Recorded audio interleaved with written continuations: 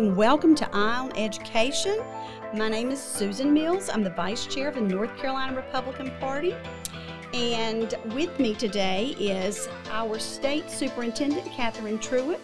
And we're very excited to have her here today. We're going to talk a little bit about uh, why Republicans are the Family First uh, group and uh, what's going on with our students in education, what's right, what's wrong, and the challenges that we're facing. So, thank you very much for joining me today.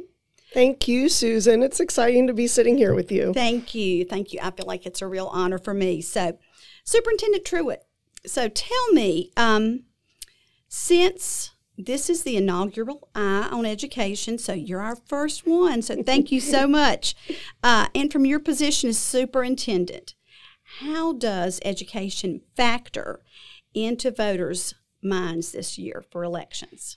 Well, I, I think I know that education is first and foremost in voters' minds because the polling tells me that. Mm-hmm. And we know that both nationally and within North Carolina that education and the economy are the top two issues for voters, for business owners, um, for all kinds of people. So I'm I'm really hopeful that voters this year are going to study up on candidates and that they are going to um, vote with their consciences mm-hmm. and that they are going to um, really look closely at the issues and realize that if they want um, candidates who are pro school safety, that they are, are candidates that are um, pro parent, that they are going to vote for Republican candidates.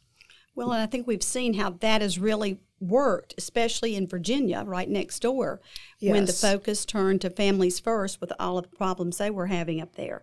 So I think um, putting our families first that, is a great thing. That is absolutely right. We we did see that in Virginia, and largely we saw that because um, the Democrats were ignoring families by ignoring school choice. When you ignore mm-hmm. school choice, you ignore families.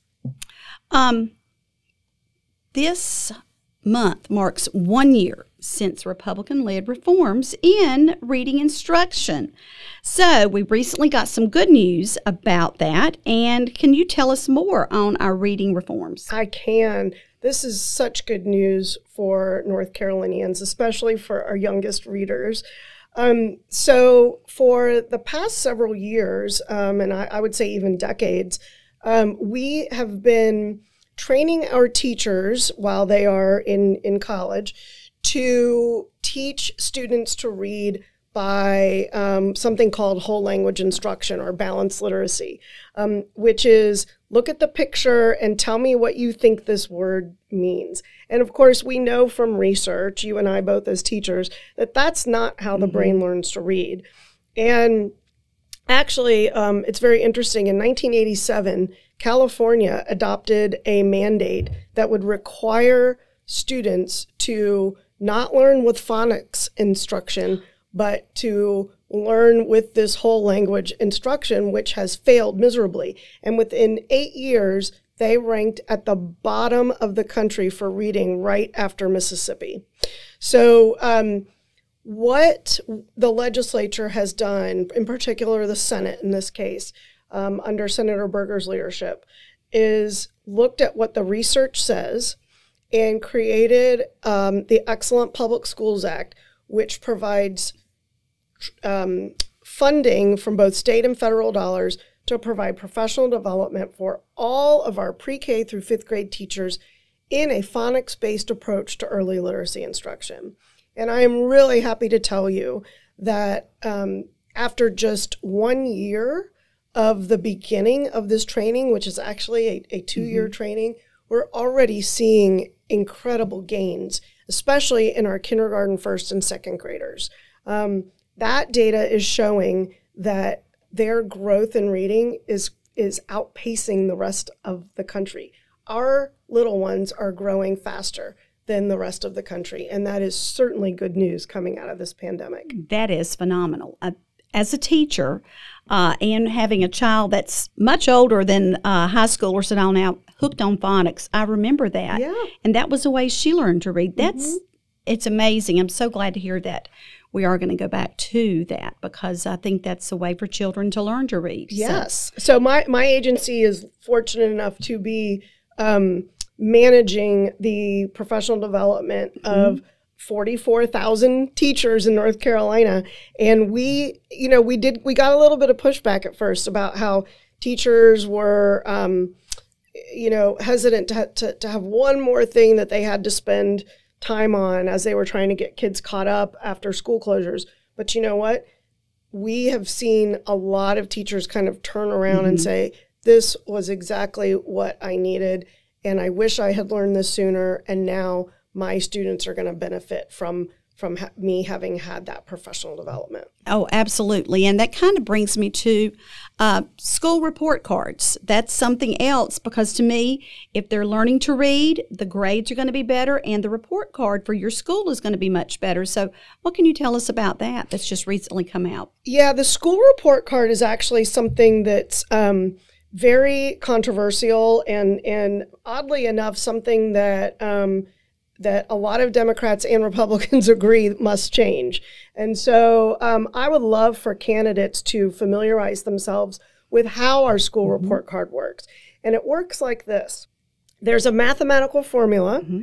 that says you take 80% of a school's achievement, like how did kids do on the EOCs right. and the EOGs? And then how did how far did they grow during the year? Did kids in a school um, improve. So they may not have mastered the material, but did they improve? That achievement is worth 80%, that growth is worth 20%, and that algorithm spits out a school report card letter. So in a year coming out of the pandemic where we did not see a lot of uh, um, proficiency, right. like we had really low test scores, kids were mm-hmm. not, we know that closing schools for as long as we did was not the right thing to do for our students. And now students are paying the price right. for that. So, um, when a parent sees their school report card grade this fall, chances are they're going to see something that says that their child attends a low performing school. And that's because this formula that we use doesn't really um, count growth for very much we want students to be growing all the time. And so growth is really important. Um, but coming out of the pandemic, it's it's hard to see growth when kids missed a whole year of school. Oh, absolutely. And speaking of pandemic, um, parents have really had a hard time uh, with their children's education, of course, over the pandemic uh, uh stage.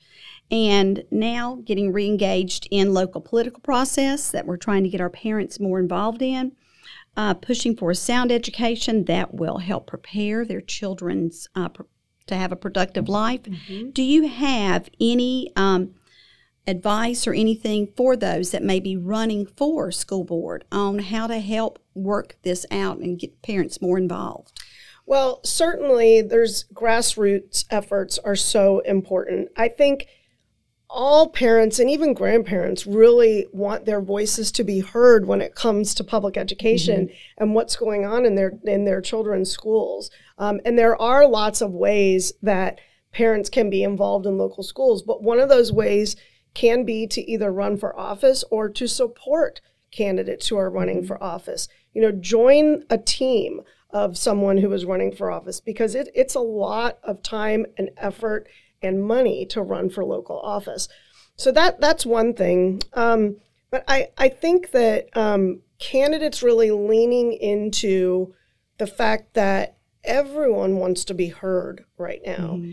And when uh, one side seems to be discounting parent voice and prioritizing the system of education over the people who are in it, our students mm-hmm. and their families, I think that's a place where conservative candidates can really lean in. So, can you see a way for us to really instill confidence in parents that their children are getting what they need in the classroom? I think that parents should feel really confident about what schools are doing right mm-hmm. now. They're open. We do not have a massive teacher shortage, as has been reported in some places. We have very normal vacancy rates.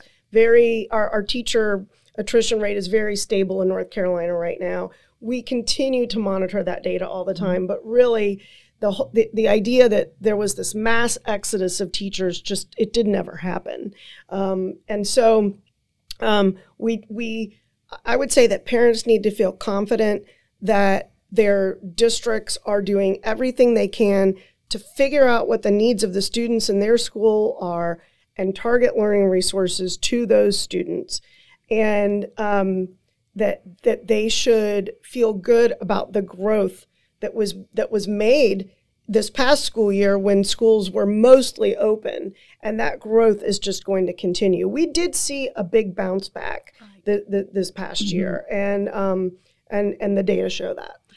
Right. I know that i have seen that in my own classes. Um, and as you know i teach career and technical education or cte um, there's such a need for people to go in to CTE and to have careers in CTE, uh, CTE jobs, but we really push a university or a college for your system. So, talk to me about that. What are you planning on doing to try to really help others understand that there is a need and we are missing the boat if we don't look at doing something to help those students? Yes, I think one of the biggest lies that parents have been told over the last 15 years is the only pathway to the middle class is a four year mm-hmm. college degree. It's just not the truth. Um, we have lots of different pathways that students can engage in as they're coming out of high school. They can we we like to say they can be employed, enlisted, or enrolled. And enrolled doesn't necessarily mean a four-year residential college. They could go to a community college. They could go to um, a, uh, a welding school and come out making a, a very sustainable wage uh, from one of those programs. There's all kinds of certificate programs. Um, I think the point is that this idea that all kids have to go to college after high school just has not panned out.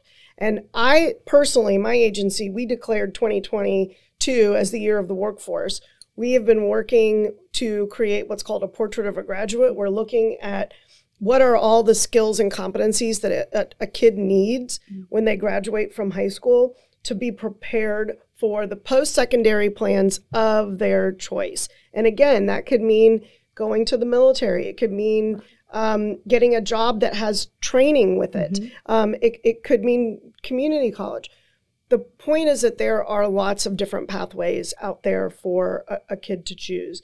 Um, the last thing we want is for someone who doesn't want to go to college or doesn't feel prepared to go to, go to college to incur debt so that they can, um, you know, go have that college experience that really isn't what they wanted in the first place. Well, you brought up the big word, student debt. Yes. So um, we have seen another round of uh, loan forgiveness for students.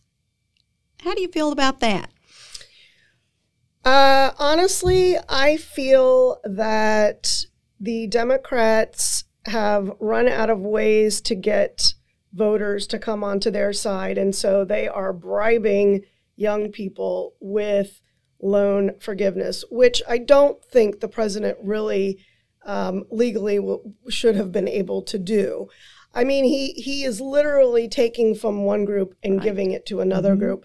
And the reason we know that is because the, the, the data is very clear that the people who benefited the most from this loan forgiveness mm-hmm. were people who had jobs and had taken out high amounts of graduate school um, mm-hmm. loans because graduate school loans are not capped. And so they took out hundreds of thousands of dollars to become doctors or lawyers. And they are, the data shows, the ones who typically pay it back. Mm-hmm. The people who are unable to pay back their loans are the people who don't finish. They, in general, have about a $14,000 that they, they owe when they default. Right. And so, um, this is this is really a case of robbing Peter to pay Paul. Wow, that's just you know, to me, having gone to college like everyone else with par- parents paying it or working through and yes. paying it yourself as you went, uh, to be able to just have ten thousand dollars written off. Uh, or or twenty thousand, right, or twenty thousand exactly. Yeah, it, I mean, my my husband went to the Naval Academy so that he would finish college debt free, mm-hmm. and then he served another. He he would have only had to have served five years, but he served another thirty. Um, so it's it's kind of um, it, I, I, take it personally oh, that yes. this loan was just written off. Um, all of the all of his brothers mm-hmm. joined the military so that they would have um, their college paid for, and um, people make choices every day so mm-hmm. that they can avoid having to be saddled with student debt. Oh, absolutely! I could not agree more.